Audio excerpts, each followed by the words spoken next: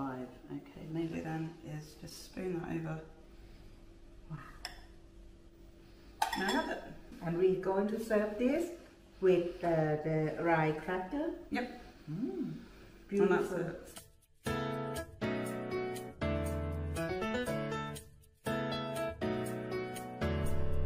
Hello! Swadika! Welcome back to Sawasdeekat with Pookie again and today I got a beautiful guest coming to join me and to show me her style of cooking It's Haylee Hello darling How are you? I'm good. I'm Oh, excited. welcome to my kitchen today. Tell us a bit more uh, what get you or what inspire you about cooking. Yeah, so um, I learned to kind of cook from my mom. Like she's an uh, amazing cook. So um, I kind of started cooking with her when I was a little kid. You know, chopping the vegetables and like trying to lick the spoon if she was making a cake and that kind of thing. Yeah. Um, so yeah, I watched her cooking through my childhood, and then that kind of inspired me to start experimenting. It didn't always go exactly to plan, but you know, we learn. Um, but yeah, so my mum's from Finland, so a lot of um, the kind of inspiration for my cooking is from sort of Finnish flavours and that kind of thing. So there's a little um, nod to that in what I'm making today. It's kind of inspired oh, by lovely. yeah, one of my favourite dishes when I was growing up was uh, kesäkeitto. Yeah, the nice. Yeah, or or I did. you did it. Or, or, or as well. It was um, it was like uh, summer soup or salmon soup, something that my mum always used to cook. So it's kind of stemmed from that, but it looks quite a lot different to the original. So, Wow. uh, but yeah, I think I think it would be nice. Yeah, can't wait. Yeah. Let's get preparing. Let's do it. Okay, let's do it. What have you got there? You got quite a few things lined up. Yes, so we're going to start by making um, uh, rye cracker. So it's a really simple recipe, just like a few bits and pieces. And there's some fennel seeds in there, so we're going to toast those first, and then yeah, I'll talk you through it. Rye cracker. Okay then. Show me. go? Awesome, cool. So uh, first we're going to take some fennel seeds and toast them. Um, you want about like a teaspoon, a teaspoon and a half. It depends on what you prefer. Okay. So we're going to head over here and toast those.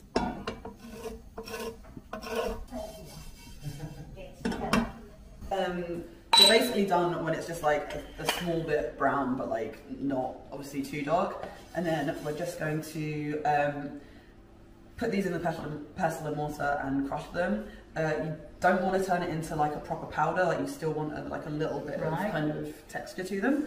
Okay. Um, so just kind of lightly crush. Would you like to crush them for me, Pookie? Okie dokie. Thank No you. problem. But can you smell like when you crush them? Like, Oh, you can start to get like the aroma out. Oh my god, I should rub on my husband this. So there's still, like I say, like quite a bit of texture to it, but Yeah. um, Oh, smell. Beautiful. Right? So fragrant. Yeah, lovely. cool. Um, and so for making the dough for the rye cracker, it's um, it's really straightforward. You basically just like chuck everything into the bowl, which Yeah. I like. So um, what we have for this recipe is uh, 150 grams of rye flour, which goes straight in. Mm-hmm. Um, and then we'll put in the toasted fennel, um, 15 grams of butter, um, unsalted butter, or salted to be fair. Um, half a teaspoon of baking powder, and then just like Pinch of salt. some salt. Yeah, I would prefer like Flavor. exactly like Seasoning. I would prefer a little bit more than like most recipes say. Right. You want to be able to taste it, so. We don't have the blood pressure problem, so we don't fine, care. it's fine, it's good for you. We're still young, so don't worry about it. So, um, so there's that, and then um, uh, then just a about a teaspoon of um, Molasses? uh, black treacle. Um, so I never used this thing before, you know? yeah, so in a lot of Finnish baking, um, Yeah. you have it's a, it's not this particular type, but this is similar to, to what you use. So the next bit is basically just mixing it together. So we've got most of the ingredients except for water in there.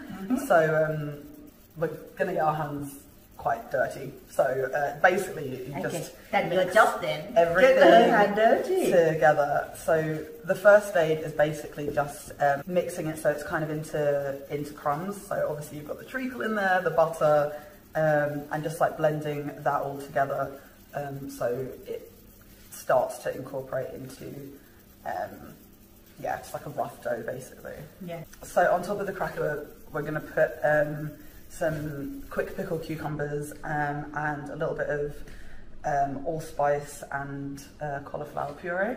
Um, the quick pickle cucumbers are like a super traditional thing. That's like a like I remember my grandma making them, and like we, we would always we would always go and help. So um, you're going to learn the the special technique Wow. um, to to make them. Um, but yeah, that's going to go on there, and that's going to be just like a little kind of side, Side- snack side to um, to the dish. to the main dish. Yeah. Mm, Make my mouth water already.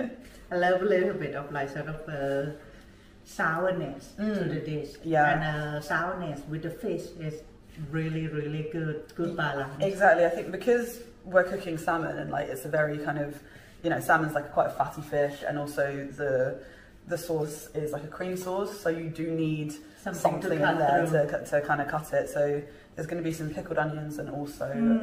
um, also the pickled cucumber as well. So Mm.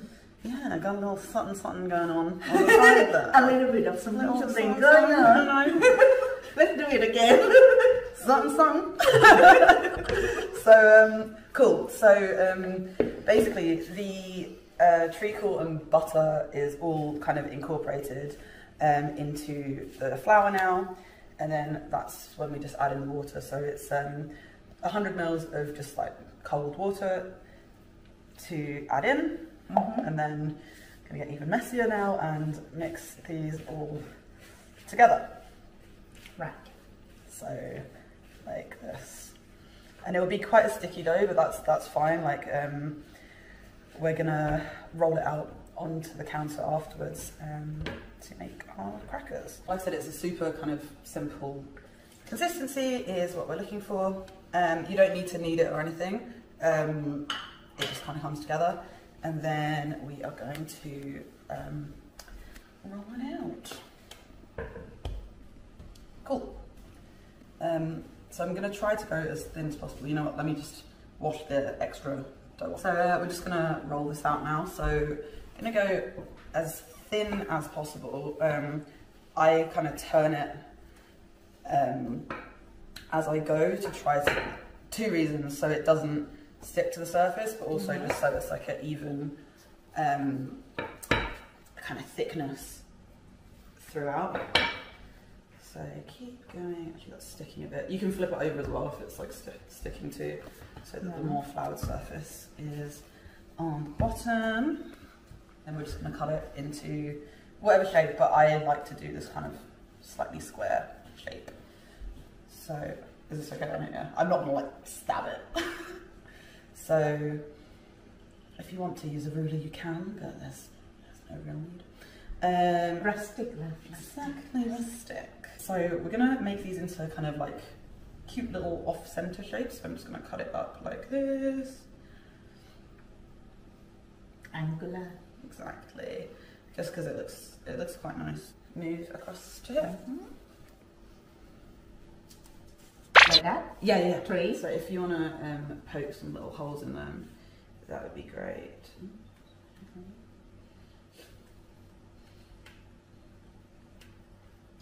Beautiful. These bake on 200 degrees for uh, between kind of 10 to 15 minutes, but it's just kind of a case of checking them and seeing golden brown. Beautiful. So, in the oven Yeah. for about 10 to 15 minutes. I'll be back. The next thing we're going to move on to is the cauliflower puree. Um, that's one of the things that's going to go on the crackers. Um, and then also the smoked mashed potatoes. Chopped up cauliflower. Yes. It's simple. Pookie has kindly peeled the potatoes for me. Ready to go. Um, and we're just going to slice them up and then uh, put them in some salted uh, boiling water. Right. So while you're doing that, do you want me to boil the uh, cauliflower first? Um, yeah, if you could just um, put another pan on Can I, shall I put this one on this? Yeah, that's perfect. Yeah, thank you. Now we have the potatoes on boil. We got the uh, cauliflower on boil. Yep. Um, ready to like to go to do the mash and to do the puree. Yep. So now what's next? The- So we are going to make uh, quick pickled cucumbers. Like this is one of the most traditional dishes. I think like everybody's mother and grandma has like a version of making it. So this is the way that I was always taught to make it. Always done it the same, um, and I will never change it. Um, so you just take cucumbers and slice them really thin. Um, please don't laugh at my knife work because like I'm really bad at it. I just use my thumb as a guide to um, to cut really small slices. Um, and I wanted to go for these small cucumbers today just because these are going to be like um, just a little garnish that goes on top of the um, of the crackers. So with the cider vinegar. yes, so we've got uh, apple cider vinegar and then um, just salt. some salt and sugar and then chopped dill because it wouldn't be a finished recipe unless it had a Oh, unholy amount of dill. Yes. So, yeah, cool. So we're going to put the cucumbers onto a plate. Um, flat layers so Mhm. the vinegar can get onto them as much as possible. Um, so those are, get rid of that bit, reasonably flat. And then you just maybe put like a tablespoon of vinegar. It's all of this kind of thing is very much um, by eye. Most of these recipes are the type of things that like, you know, By eye. Your- yeah. Sometimes you use like eyeballing it. So the vinegar's on them, and then we're just going to put a sprinkle of um, sugar. It's just like regular um, white sugar that gets sprinkled over. Maybe a little bit more. And then um, some salt as well. Mhm. Just, again, normal table salt. So, like that. And then um, we're gonna just chop some dill to go on them as well, um, and keep the stalks because that's going to be used in another part of the recipe later. So I again excuse my terrible uh, knife skills. It's nothing, nothing to write home about, to be honest. Now you're okay. As long as it's chopped. Exactly. So you want to cut those reasonably fine.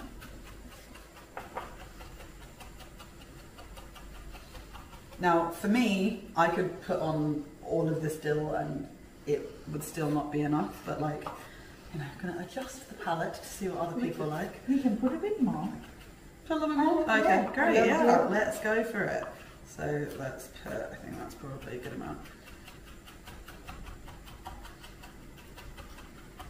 And then once it's cut up nice and fine, then it just gets sprinkled, actually that's quite a lot of dill. it just gets sprinkled over the cucumber. You put another plate over the top, Right. and then hold it tight together Yeah. as possible. Okay. And then you just want to like get like a good little shake going on. So notice that I don't want to get my clothes covered in uh, dill and Do I have to like shake up and down? Right, up Yeah, and down. uh, Pookie, up and down, up and down, up and down, up and down, up and down. Yes. There you are.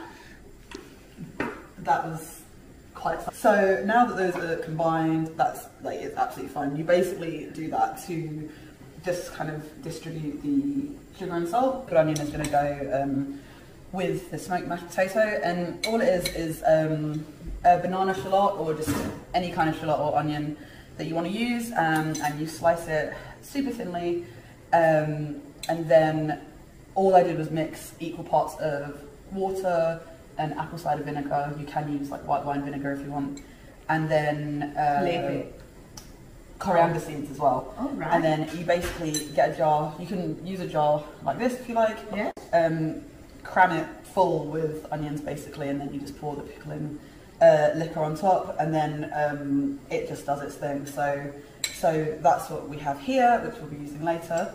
Okay. Beautiful. And then And your this lovely green elixir is uh, dill oil. So How do you do that? it's super easy to make and it's like so nice to, to drizzle on um, pretty much anything. Can you tell that I quite like dill? Yeah. You know what you're doing next, uh, Haylee? Yeah, so now we make the smoked mashed potato. Um, so these have just been on the boil like as usual, just until soft, like we're making normal mashed potato. Mm-hmm. Um, and then they've just been like in the pan to kind of like steam themselves, so they're kind of like dry out a little bit. Um, and then we're going to smoke it. So in here I have, and we're basically just going to burn those and then uh, cover this over with cling film so the smoke can just kind of uh, go into the potatoes. So we're going to do it twice just because I like to smoke it once and then like mix the potatoes so um, the full thing can get like really properly smoky. So we can really Absorbing in flavour. all the smokiness. Exactly. Yes. From top to bottom. do it. Um, so if you So I cover that over, cover that. that'd be great. You want to make it like a proper sort of tight seal around the outside, except for where Oh. a little. I ruined it already. Do it again. So yeah, uh, probably tight seal, and then um, then we will like this. So this just has um, the little button that kind of starts the airflow. It just like sucks that the air through. Yes. So we will turn that on, and then you just burn these little chips at the top. You just need them to be like smouldering rather than like kind of on fire. So once that's kind of taken to quite a lot of the um, the chips, um, you can like blow it out so it's not just like the actual flame. And then you just literally just want that kind of like crackly smokiness, and then that's gonna fill into here. So that's probably about enough. Um, Mhm. so we can just turn it off and then uh, cover the little gap over um, and just leave that to sit. The first smoke I leave for like kind of five to ten minutes and then Okay. It kind of naturally um, will kind of leak out and once Smoke it into Exactly. the so then once um, once you notice kind of um, that the smoke has uh, started to like leak out a little bit, then we'll mix them and then smoke it one more time, just so it's like Double really smoky good. Yeah. So, yeah. Now, I saw that uh, we got the cauliflower here and the blender. Yes. Cool. Um, so the cauliflower is ready. Um, you, like I said, just need to boil it until it's like super soft. Um, if you can see, like it, you're able to kind of break it apart with a spoon. Like that's how soft you need it to be because you don't want the puree to be kind of chunky. It needs to be super, super smooth. Um, so this is absolutely fine. And all we're going to do is put the cauliflower in the blender with um, some butter and cream, allspice, and that is going to be our puree. So I'm just going to add it into here.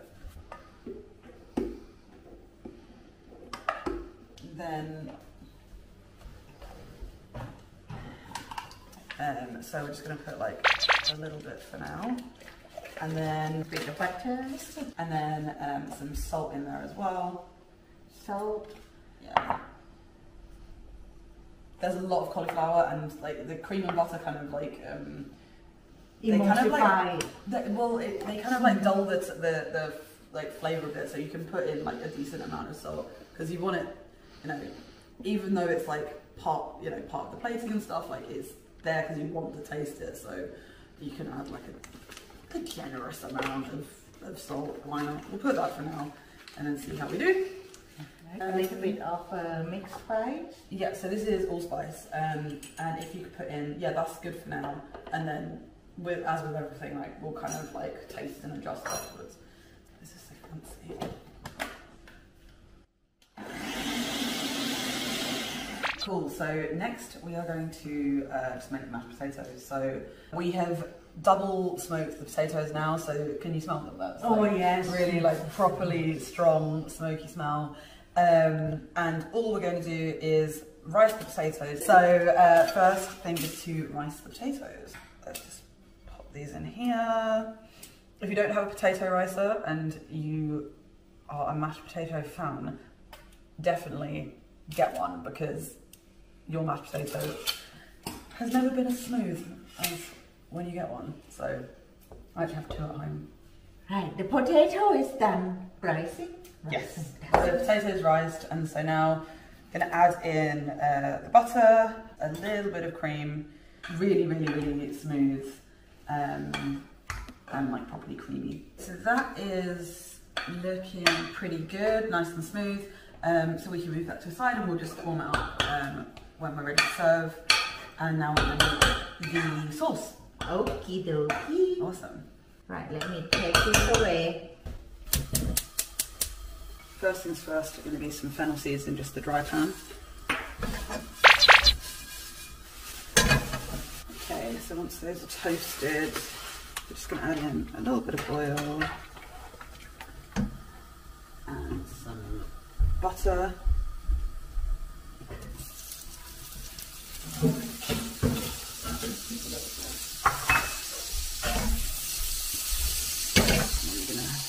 add in of this good stuff.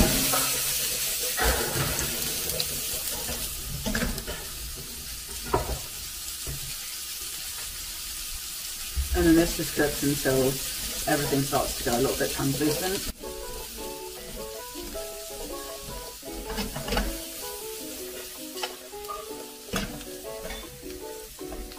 Uh, so once this is sweated down, like you don't need it to colour too much, um, then we're going to add in a big glug of vermouth.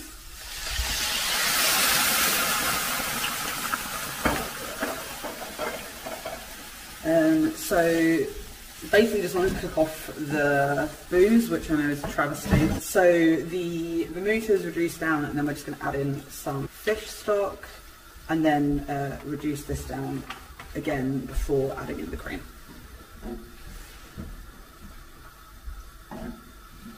Right, so that's reduced down, so we're just going to add in some lemon to make sure there's a nice bit of sharpness to the sauce. Um, about half a lemon is all you need. Uh, we're going to cook that off and then just add the cream. So this is reduced and then we're just going to add in the cream. Cook that down and then uh, we'll be ready to blend the sauce. We've got the vermouth that's reduced, the fish stock's been in here, uh, we've cooked off the cream and then now we basically just need to strain it out. You want to kind of push it down as much as possible because like there's a lot of like work that goes into a sauce, right? So you want to be able to make sure you get. Okay, great. So now we're just going to add this into the blender. Get the sauce out. And we have to put the spinach in for Yeah. the green. Exactly. So the spinach just goes in raw. Um, so kind of two handfuls worth of That's a big spinach. leaf spinach. It's big leaf spinach, yeah. Um, Can I use the, the small one? You can use you can use a small one too. This is just the one that they sell in the uh, international supermarket at the top of my road, so uh, I always use this one. Um, and then make sure that that's on firmly, and then we're just gonna blitz this until it's like really properly vividly green, um, and then strain it again. So let's do it. Hi, now our spinach with our reduced sauce. Yes, so it basically looks like we're on some kind of like healthcare, like this is our little smoothie that we're having in the morning. Um, but no, this is actually just like a delicious creamy sauce now. And we're gonna strain it again just in case there's still any kind of, yeah. um, so I'm guessing that this is actually gonna be fine, but you just wanna make sure that it's um, super smooth and delicious. Just pass that through, thank you.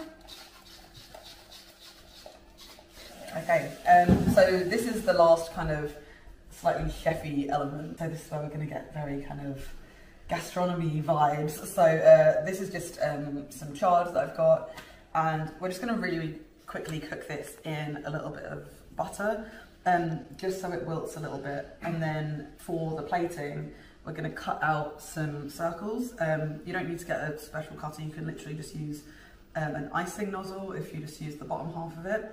It just makes really great little holes if you need to. So um, we're gonna cook this and then Cut the, Yeah. little holes from it um, for the plating. Okay. And then that's the last thing we need to do before the salmon.